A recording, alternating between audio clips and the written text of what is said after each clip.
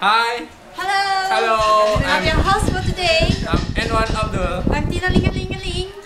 and you Kester. And you Apis. peace.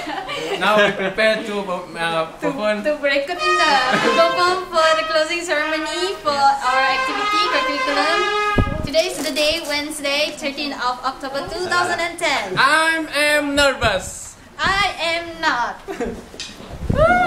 That's a wrap. That's a wrap.